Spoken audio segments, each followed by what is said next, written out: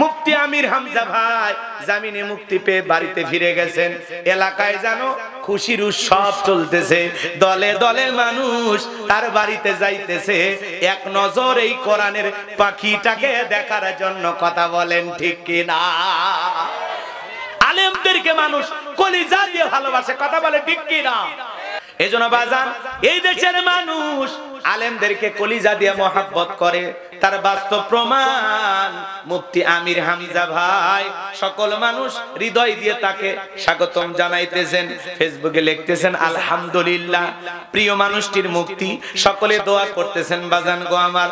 এজন্য ভাইয়েরা আমার, আপনাদের উদ্দেশ্যে বলে দিতে চাই, আলেমেরা জেলখানা থেকে মুক্ত হলে মানুষ তাদেরকে ফুল দিয়ে বরণ করে, কথা বলেন ঠিক কিনা? মানুষ তাদেরকে হৃদয় দিয়ে ভালোবাসে। আজকে আলেমেরা তাকে সংবর্ধনা দিয়েছেন। সকল আলেমেরা ঐক্যবদ্ধ হয়ে ফুলের তোরা দিয়েছেন। আমার ভাই গতকালকে থেকে যত মানুষের সাথে কথা বলেছেন, কি সুন্দর মুস্কি হাসি, কি সুন্দর হাসি। এটা বিজয়ের হাসি, এটা আনন্দের হাসি, এটা মমিনের হাসি। মমিনেরা হাজারো কষ্ট নির্যাতন, হাসি মুখে বরণ করে নেয়। মমিনরা কখনো ভীত হয় না, কথা বলেন ঠিক কিনা? আমার ভাইয়েরা আমাদের প্রিয় ভাই মুফতি আমির হামজার জন্য কলিজা থেকে দোয়া করবেন। আমাদের প্রিয় ভাই জেল থেকে মুক্ত হয়েছেন, আমার ভাই কিছুটা অসুস্থ। দেশবাসীর কাছে দোয়া চেয়েছেন, আপনার আমার প্রিয় ভাইয়ের জন্য দোয়া করবেন। আল্লাহ পাক যেন তাকে সুস্থতা দান করেন। মৃত্যু পর্যন্ত কোরআনের হক কথা ময়দানে জাতির সামনে বলার তৌফিক দান করেন, জোরে বলুন, আমিন। আজকে আমাদের বগুড়ার আরেকজন প্রিয় ভাই হজরত মাওলানা আব্দুল সালাম যুক্তিবাদী ভাই, তিনি দেখা করতে গেছেন, আলহামদুলিল্লাহ বলেন, তিনি দেখা করতে গেছেন, ফুল দিয়ে বরণ করে নিতেছেন। এজন্য ভাইয়ের আমার হাজার হাজার মানুষ তার বাড়িতে যাইতেছেন, তাকে শুভেচ্ছা জানাইতেছেন, এক নজর দেখতে যাইতেছেন। এটাই হলো এদেশের জনগণের আলেমদের প্রতি ভালোবাসা। এদেশের মানুষ আলেমদেরকে কলিজা দিয়া ভালোবাসে। কথা বলেন ঠিক কিনা? কারা কারা আলেমদেরকে ভালোবাসেন? দুই হাত তুলে একবার দেখান তো দেখি। লিল্লাহে তাকবীর। লিল্লাহে তাকবীর। আল্লাহ আমাদের এই ভালোবাসা জান্নাত পর্যন্ত কবুল করুন। জোরে বলুন আমি আমাদের সব হবে কার জন্য? আলেমদেরকে ভালোবাসবো কার জন্য? দীর্ঘ বত্রিশ মাস, নয়শো পঁচিশ দিন আমার এই ভাই জেলখানায় ছিলেন। সেখান থেকে যখন মুক্ত হয়েছেন গতকাল থেকে সোশ্যাল মিডিয়ায় শুধুমাত্র একজন ব্যক্তির নামে দল মত নির্বিশেষে কৌমি আলিয়া নাই। কথাকে বোঝেন নাই? সকল শ্রেণির মানুষ দোয়া করতেছেন আলহামদুলিল্লাহ। আমাদের প্রিয় ভাই দিনের তরুণ আলোচক চমৎকার গবেষণামূলক যিনি আলোচনা করেন প্রত্যেকটা মাহফিলে যিনি বিষয় ভিত্তিক তাফসীর করেন, কথা বলেন ঠিক কিনা? যার আলোচনা শুনে এ দেশের লক্ষ লক্ষ কোটি কোটি যুবক পরিবর্তন হয়েছেন, আল্লাহ আকবার বলেন। হৃদয় দিয়ে তাকে ভালোবাসেন, কথা বলে ঠিক কিনা? এ যুবকেরা, কথা বলো না কেন? কি? প্রিয় ভাইয়ের প্রতি ভালোবাসা আছে না নাই?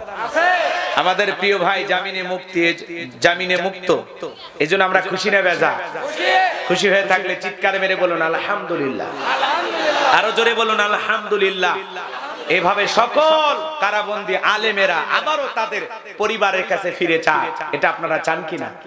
তারা পরিবারের কাছে ফিরে যাক, চান কিনা?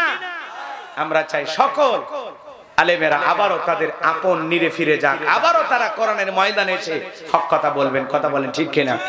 এদেশের বিজ্ঞ বিজ্ঞ ইসলামিক স্কলার, দিনের দায়ীরা, যারাই যেখান থেকে দাওয়াত দিতেছেন, তাদের জন্য আমাদের দোয়া ভালোবাসা আছে না না আমার ভাইয়েরা আমি আপনাদের উদ্দেশ্যে যে কথা বলতে চাচ্ছিলাম, এই যে মুফতি আমির হামজা ভাইয়ের দুইটা মেয়ে ছিল, সবাই কান্নাকাটি করেছে। গতকাল রাত্রিতে আমার প্রিয় ভাই যখন সন্তান দুইটাকে কোলে তুলে আদর করেছেন, বাবার মতো ভালোবাসা দুনিয়ার কেউ দিতে পারবে না, কথা বলেন ঠিক কিনা? খুশি, তার মা খুশি, এলাকার লোকজন খুশি, তার স্ত্রী সন্তানেরা খুশি। মুফতি আমির হামজা ভাই জামিনে মুক্তি পেয়ে বাড়িতে ফিরে গেছেন। এলাকায় জানো খুশির উৎসব চলতেছে। দলে দলে মানুষ তার বাড়িতে যাইতেছে। এক নজর এই কোরআনের পাখিটাকে দেখার জন্য কথা বলেন, ঠিক কিনা? আলেমদেরকে মানুষ কলিজা দিয়ে ভালোবাসে, কথা বলে, ঠিক কিনা? সকল ওলামা একরাম ছুটতেছে তাকে দেখার জন্য।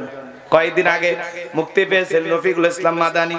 আমরা আল্লাহর কাছে দোয়া করব, আল্লাহ, সকল কোরআনের মুফাসসিরদেরকে আবারও কোরআনের ময়দানে ফিরায় দাও। জোরে বলেন আমিন। আরও জোরে বলেন আমিন। আমার ভাইয়েরা, যে কথা বলতে চাচ্ছিলাম, মন খারাপ করবেন না। কি বলছিলাম মনে ভুলে গেছেন? এইবার জেলার যা ডেকে বলে, বাদশাহ, আপনি স্বপ্নে কি দেখেছেন? আপনার স্বপ্নের কথা যে জানে, তার একটা শর্ত আছে, তার সত্তর হাজার লোককে জেলখানা থেকে ছেড়ে দিতে হবে। বাদশাহ বক্তে নাসর ডেকে বলে, ওই বাজান যদি বলে, এই জেলখানা কেন? তাম পৃথিবীর সমস্ত জেলখানার আসামি ছেড়ে দিতে রাজি। বাজান যা বলে, তুমি তাই করো। চিৎকার মেরে বলেন, আল্লাহু আকবার। এইবার সমস্ত আসামিদেরকে ছেড়ে দেওয়া হলো। নবীর উম্মতদেরকে ছেড়ে দেওয়া হলো। গো আমার। সবার শেষে নবী দানিল সালাম জেলখানা থেকে বের হইয়া বাদশার দরবারে প্রবেশ করবেন। কিন্তু ওই দরবারে ঢোকার সিস্টেম হলো, যত মানুষ ঢোকে, সবাই মাথা নত করে বাদশাকে সিজদা দিয়ে ঢোকে। বলেন তো বাজান, নবী মানুষ কি কোন জালেমকে সিজদা দিতে পারে? কথা বলে দিতে পারে। কোন ইমানদার কি কোন বাতিলের কাছে মাথা নত করতে পারে? কথা বলেন না কেন?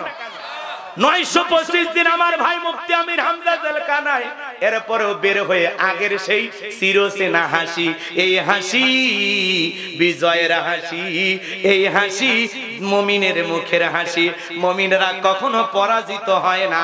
মমিনরা সব সময় বীরের মতো থাকে। কথা বলেন ঠিক কি না ভালো করে বোঝান, বাজান আল্লাহর পৈগাম্বার মাথাটাকে উঁচু করে কৌশল করে ভিতরে প্রবেশ করলেন।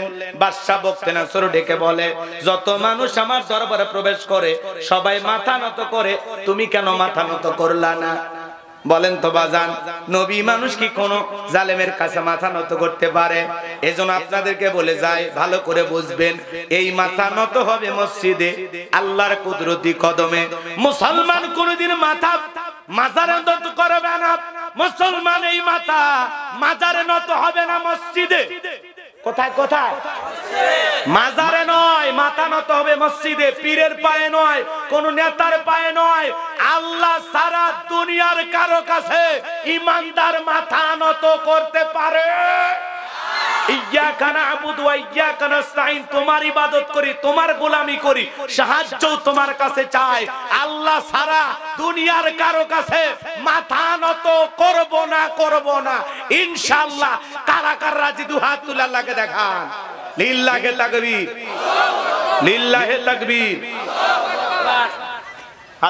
কষ্ট পাচ্ছেন আপনারা? এই জন্য মমিনেরা কখনো পরাজিত হয় না। হাজারো মুসিবতে মমিনেরা হতাশ হয় না কথা বলে ঠিক কিনা? ভেঙে গেলে চলবে না দুর্বল হলে চলবে না।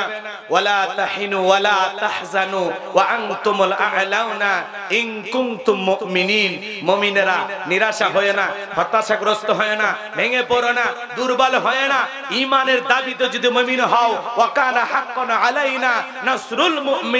মুমিনদের সাহায্য করা, আমি আল্লাহর ওয়াজিব হয়ে যায় কথা বলে ঠিক কি না এজন্য হাজারো মুসিবত, বিপদে ঈমানদার কখনো ধৈর্য হারাবে না ইমানদার কখনো পিছপা হবে না, কথা বলেন ঠিক পিছিয়ে গেলে চলবে না। হাজারো মুসিবতে মমিনকে অটুট থাকতে হবে। থাকতে হবে। দীর্ঘ থাকতে হবে। মজবুত থাকতে হবে। ওরা যেন হাজারো মুসিবত বিপদ দিয়াও আপনার ইমানটাকে নষ্ট করে না ফেলতে পারে। আপনাকে যেন বাতিলের চামচা না বানাইতে পারে। কথা বলেন ঠিক কিনা? রাগ করতেছেন নাকি? সুবিধাবাদ জিন্দাবাদ হওয়া যাবে না। এখন উচিত কথা যদি কই পিঠের উপর দিয়ে যাবি মই এই আনন্দে কিছু লোক কিনে খাবে বগুড়ার স্পেশাল দো। কথা বলেন ঠিক কিনা? বাজান গো আমার লম্বা করব না সংক্ষিপ্ত কথা বলে দিয়ে যায়। যে কথা বলতে চাচ্ছিলাম বাজার এইবার আল্লাহর পয়গাম্বার ডেকে বলে বাদশাহ যে আপনার স্বপ্নের কথা আমার মাথার মেমোরির মধ্যে সেভ করে দিয়েছে, তার কথা হলো, তাকে সারা দুনিয়ার কারও কাছে মাথা নত করা যাবে না। আমি যদি মাথা নত করতাম, আপনার মতো সে যদি আমার মাথা থেকেও স্বপ্নের কথাগুলো ভোলায় দিত। আপনিও টেনশনে মারা যেতেন, আমাকেও মেরে ফেলতেন। তখন ডেকে বলে, বাজান, যা করেছ, ঠিক করেছ। আসলেই তোমার মাথায় বুদ্ধি আছে।